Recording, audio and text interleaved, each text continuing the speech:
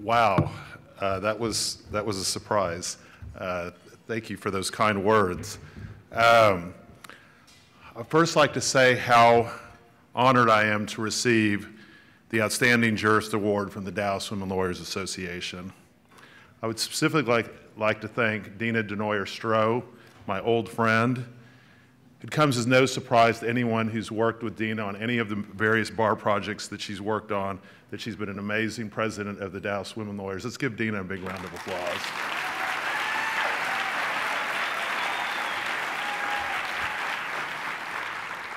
Dina and I have actually been working together on various bar projects for almost a decade from when she was president of the DAYL.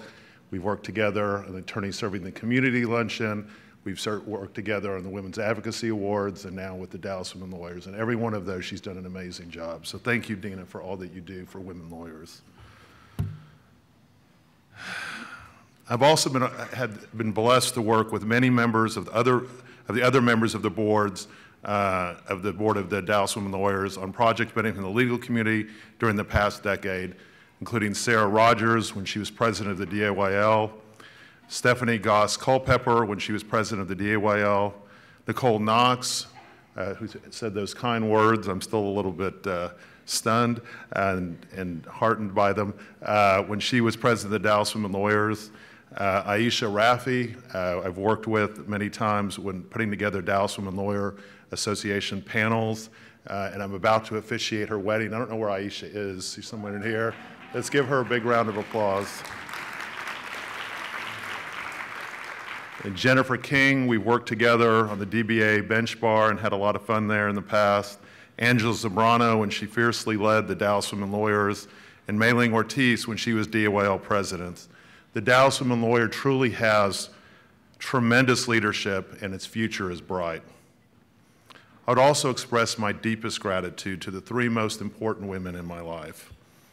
My wife, Heather, we celebrated our 25th wedding anniversary earlier this year, who has been my partner since college, and we've truly built a wonderful life together. My mother, who's been a role model to me that women can be strong, independent professionals. Thank you, Mom, for being here.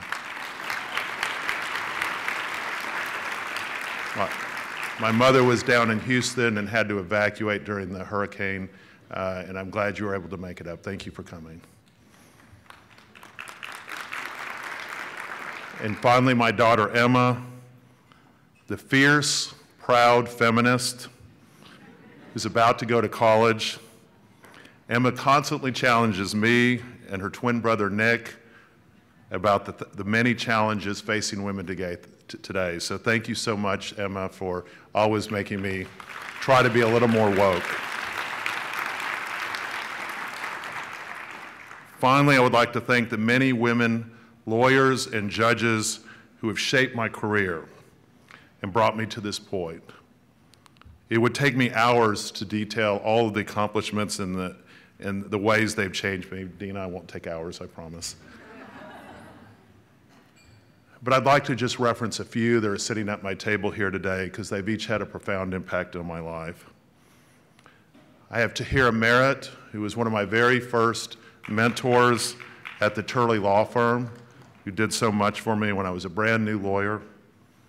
Karen Washington, who has been a friend of my wife and my family and helped recruit me into the Mac Taylor Inn of Court, which has been such a special organization to me. Eileen Smoger and her partner, Carla McGee Smoger, who I worked with for over a decade.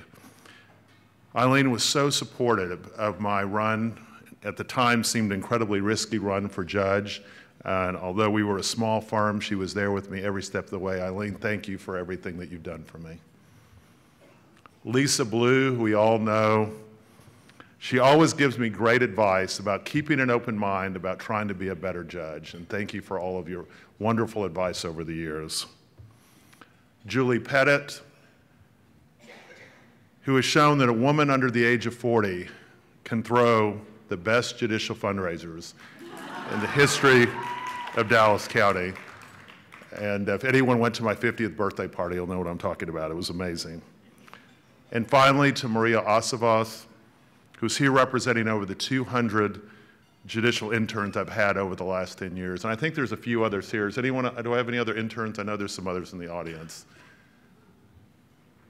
Maria has been very special to me. She, I was blessed to officiate her wedding, swear her in as an attorney, and I even got to attend her first, birth, her, her daughter's first, not her first birthday party, her daughter's first birthday party. I've appreciated the opportunity to be there for so many of her special days, and I'm glad that she is here for my special day. Thank you, DWLA and Dina and everyone else, and thank you for this award.